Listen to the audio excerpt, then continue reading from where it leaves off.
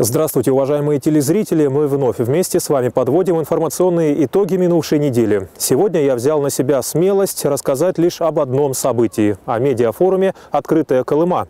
Казалось бы, чем он может заинтересовать телезрителя, но я советую вам оставаться на МТК, и вы узнаете не только о журналистах, но и об их обязательствах перед аудиторией. В мае 1957 года в Магадан пришло телевидение. Первая массовая трансляция состоялась благодаря вводу в строй телебашни на Комсомольской площади. В 60-м заработал Магаданский телецентр, 54-й в РСФСР. В это же время происходит становление колымской журналистики. В передовиках, конечно, была печатная пресса, но ТВ с годами развивалось, и в 90-е оно имело уже гораздо больший охват аудитории. О том, что критическое положение э, в области завоза энергоресурсов уже говорить не приходится. Жители, население области уже испытывают на себе эти неудобства. Отдельные населенные пункты могут быть отключены от центральных источников энергоснабжения. Ну и наступает ситуация, которой надо принимать чрезвычайные меры. Это прежде всего вплоть до перехода на буржуйки или эвакуация населения. Собственными силами областная администрация решить возникших проблем не сможет из-за того, что третий год подряд федеральный закон о государственной поддержке северного завоза профинансирован только на 25%. Задолженность правительства по трансфертам достигла 515 миллионов рублей. А тут еще финансовый кризис разразился в самое неподходящее для северных регионов время.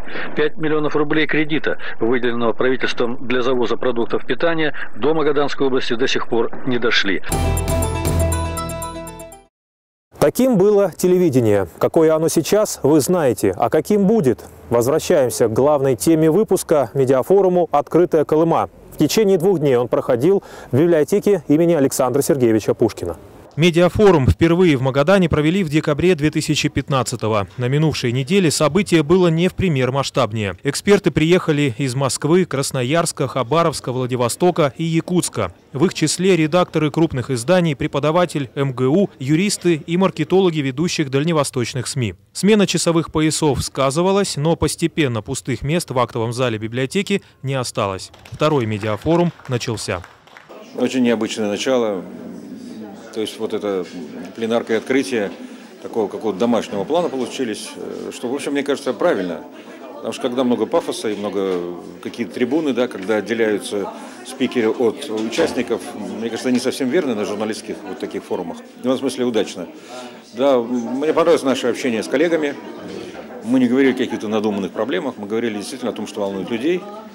Вот, в качестве каких-то плюсов, которые могу отметить, то есть э, это, конечно, интерес журналистов к мероприятию, это интерес э, людей к своей работе, это некая все-таки непогашенность, несмотря на то, что быть журналистом сегодня достаточно сложно, и материальные проблемы, и проблемы другого характера, это не та профессия, которая там была 15 лет назад. Гостей на открытии увлек разговор о проблемах и преимуществах бренда «Колымы». Проще говоря, ее по-прежнему многие жители ЦРС воспринимают как один большой лагерь, где только медведи ходят на свободе. А Магаданская область сегодня – это уже другая территория. И организаторы медиафорума рассчитывают, что именно журналисты расскажут об этом, а гости Колымы уже рассказывают. Очень быстро это мнение меняется. Меняется, потому что те, кто приезжает сегодня к нам, общаются с нашими людьми, прекрасными людьми, особенными людьми. Э, я в это искренне верю, потому что моя долгая жизнь в Магаданской области э, сделала меня счастливым еще и потому, что меня всегда окружали, окружают, уверен, будут окружать прекрасные, отзывчивые, мужественные люди. О людях Колымы не только говорили, их еще и награждали. Этим открытие форума тоже отличалось от прочих светских мероприятий. Последующую работу предваряла торжественная часть. Губернатор вручил знак «Почетный работник СМИ Магаданской области» ветерану радиовещания, преподавателю факультета русского языка и журналистики СВГУ Георгию Радченко. Вы знаете, я приехал сюда почти 60 лет назад, и первое, что услышал о Магадане, что это самый спокойный город в СССР. Ну, что значит иметь до сих пор, вот видите, 60 лет прошло почти с тех пор, мы собираемся опять обсуждать эту проблему, тут проклятие нашего края, которое ну, может, и проклятие, я не думаю, что это у многих в памяти, но если читать даже наши газеты, интервью с иностранными гостями области, в общем-то, это есть еще. Ну, спасибо за выбивание. Доброй работы. Она началась сразу на нескольких этажах библиотеки. Работа над ошибками шла на мастер-классе Елены Гоголевой. Известный в регионе филолог начала с простого теста – расставить ударения в словах. Без ошибок с заданием не справился ни один журналист. Я хочу начать с сожаления, потому что я помню журналистов еще 60-х, 70-х годов. На мой взгляд, э, уровень э, речевой культуры снизился – но это не значит, что одни проигрыши. Зато увеличился динамизм, э, сценичность увеличилась. То есть э, потери происходят, но при этом наросли некоторые плюсы, потому что э, журналист 60-х годов был ну, статичен очень. Он не, не был эмоционален, он не мог себе позволить большую шутку, какую-то экстравагантность. То есть вот тут э, приобретение, тут потери. Вы хотите совета получить или хотите да. спорить? Я не возражаю. Вот смотрите, вам интересно, кто это? Мне интересно. А море-море это никому не интересно. Надо подписывать обязательно людей, особенно детей. Надо подписывать. Смотрите, какой классный снимок, да? Прекрасный снимок. А где заголовок, коллеги? Читайте, тут рыбу заворачивали, читайте где-то там, где. О проблемах периодической печати колымским газетчикам рассказывал Московский. Как оказалось, трудности везде одни и те же. Низкая заработная плата и, следовательно, дефицит кадров, а также давление сильных мира сего. Чем э, журналист более профессиональный, чем больше и лучше он владеет ремеслом, тем больше у него возможности как-то отстроиться от такого прямого давления власти. И в этом смысле та власть, которая вкладывается да, и ресурсами, и еще чем-то в развитие журналиста своей территории, конечно, поступает правильно. Нормальный журналист способен о власти говорить без такого придыхания, да, в нормальном деловом ключе, и не заниматься каким-то уж совсем беспринципными, там, построением каких-то беспринципных заказанных материалов. Не идти на сделки с совестью рекомендует и медиа-юрист из Владивостока Галина Антонец. Она вела мастер-класс «Свобода и ответственность СМИ». Показывать что угодно и рассказывать обо всем подряд. Сегодня слишком дорогое удовольствие. И если с матершиной все понятно, есть даже список из четырех слов, которые запрещены в любой форме, то иные юридические тонкости далеко не всегда известны журналистам. Нарушений закона очень много, причем сейчас, что очень опасно. Если раньше СМИ боялись исков по защите себе достоинства, то сейчас нужно больше бояться государства, которое накладывает огромные просто штрафы за нарушение действующего законодательства. Нарушить его можно даже самому не подозревая того неумышленно. Поэтому... А как часто СМИ нарушают закон, сами того не ведая? Регулярно.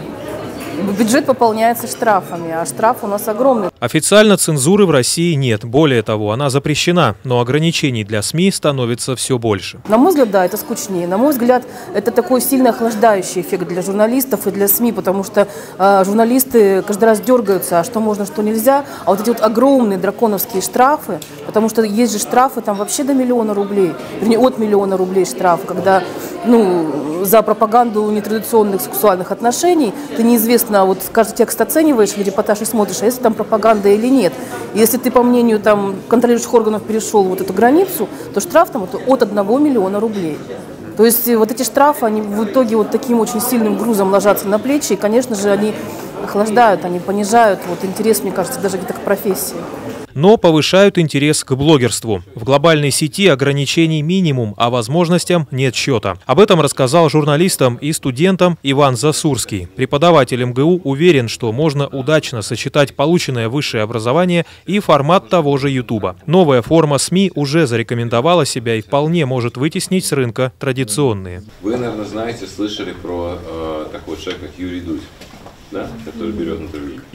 Я с, с удивлением, может с радостью узнал, что это просто наш выпускник, который нашел таким образом новую платформу. И, честно говоря, это то, на что мы рассчитывали. Вот, э, когда кафедра, которую я советую, называется кафедра новых медиа, теории коммуникации. Она выросла из такой лаборатории, которая называлась лаборатория медиа, культуры и коммуникации. Значит, идея, когда мы ее начинали в 2001 году, была в том, что когда наступает вот эта новая эра, новая технологическая революция, новые средства информации, каждый сможет производить контент любого типа. Ну, каждый сможет, грубо говоря, снять фильм, каждый может сделать радиопрограмму, каждый может сделать все, что угодно. И наша идея была в том, что мы должны давать максимально серьезные навыки работы с любыми типами медиа, потому что никому из наших студентов мы на самом деле не можем больше гарантировать трудоустройство. В лучшем положении, чем ТВ и газеты, электронные информагентства. Их формат наиболее подходит для того, чтобы аудиторию делать с автором. То есть расходов меньше, а горячие новости есть всегда. Удачный пример на Колыме появился около четырех лет назад. В Магадан мы пришли совершенно случайно, потому что, ну, если честно, большого потенциала в Магаданской области не видели изначально э, и ошибались. Филиал Магаданский, чем я особенно горжусь, он среди других регионов, э, ну, наших филиалов Примамедиа, выглядит э, одним из передовиков. Может быть, не по там, абсолютным каким-то цифрам, поскольку население в Магаданской области не такое большое, а по технологическим каким-то нюансам, по использованию новых возможностей, которые предоставляют социальные сети, мессенджеры. Региональное ТВ тоже меняет форматы, иной раз кардинально и с риском для реноме канала. Медиахолдинг «Губерния» крупнейший на Дальнем Востоке, поэтому экономить деньги участников медиафорума учил его директор по маркетингу. Вот когда мы запустили «Новое утро», вот началось. Вот первый вот для нашего шеф-редактора утра это был самый седой месяц, потому что каждый день писали, что за уроды, раньше сидели там Миша Соня, они повзрослее там, там, а сейчас посадили каких-то детей, почему я должен смотреть. И мы сначала очень дергались, было очень много мнений, давайте откатимся к прежней версии, но когда через три месяца у нас доля выросла вдвое, а потом еще вдвое, и сейчас у нее доля 30,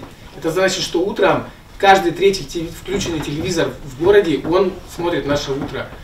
Сегодня придумать что-то новое на телевидении вряд ли возможно. Губерния, например, учится у новозеландских коллег, а колымчане – у хабаровских. Больших открытий на ТВ не предвидится, и в газетах тоже вряд ли. И опять же на первый план выходит интернет, а именно блогеры. Я не помню, чтобы в какой-либо стране когда-либо видеоблогер выступал на трибуне парламента. Выступление Саши Спилберг в Государственной Думе, пожалуй, самый яркий пример последних лет. По данным опросов Левада-центра, до 25% взрослого населения страны смотрит каналы видеоблогеров. Необходимо уточнить, что опросы проводили среди россиян в возрасте от 18 лет. А если учесть подростков, то аудитория увеличится кратно. И этот сегмент медиарынка на сегодняшний день практически не регулируется. То, что касается Союза журналистов России, то недавно избранный председатель Владимир Соловьев, Владимир Геннадьевич Соловьев. Вот, он сказал, что будем, мы будем работать с блогерами. И действительно есть какие-то примеры, да, когда люди работают профессионально, имеют очень большую аудиторию и занимаются системной работой с информацией, опять же, не только о себе, да, а попытка там, э, обсуждать какие-то проблемы, попытка привлекать внимание к каким-то явлениям. Поэтому, конечно, я думаю, лучшие блогеры там, будут ли они членами Союза журналистов или нет, но они, в общем, где-то будут нашими коллегами, и мы с ними будем сотрудничать. Надо как-то блогерское сообщество воспитывать, чтобы они э, себя немножко... Ну, они же не ходят э, раздетые по улице, они не ходят немытые неделями. Это то же самое. Немытая речь – это неуважение к аудитории. Вот если это будет воспитано, пусть у них будут некоторые ошибки. Не в этом же дело, а в том, что у них в целом уважительное отношение к вот речевому контакту с аудиторией. Сейчас э, второй медиафорум э, – это ну, только начало пути.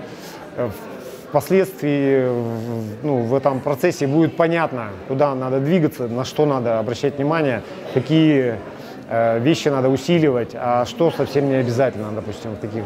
То есть это профессиональная тусовка для, для смысла, для пользы. Медиафорум «Открытая Колыма» проходил два дня. Как и полагается, закончилось все принятием итоговой резолюции. Суть ее сводится к тому, что средства массовой информации Магаданской области должны развиваться. Следующий медиафорум, возможно, проведут в более теплое время года, весной или летом. К нему приурочат конкурс журналистского мастерства и, конечно, не обойдется без гостей из других российских регионов. Все это могло бы остаться за кадром, но если вы досмотрели нашу программу до конца, значит второй медиафорум «Открытая Колыма» прошел не зря. Всего вам доброго, до свидания.